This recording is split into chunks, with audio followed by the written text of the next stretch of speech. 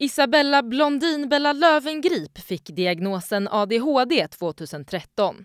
På sin blogg berättar nu 25-åringen att hon funderar på att börja ta medicin igen. Redan när hon fick diagnosen tog bloggerskan medicin för att hantera sina koncentrationssvårigheter. Men efter ett tag slutade hon eftersom hon upplevde att preparaten gjorde henne aggressiv. Sedan dess har tvåbarnsmamman hanterat problemen genom kost och träning. Men det har inte räckt och förra fredagen blev sista droppen när hon skulle läsa högt för dottern och inte klarade av att sitta still. Därför vill Blondinbella nu testa en ny medicin för att kunna tampas med sin ADHD.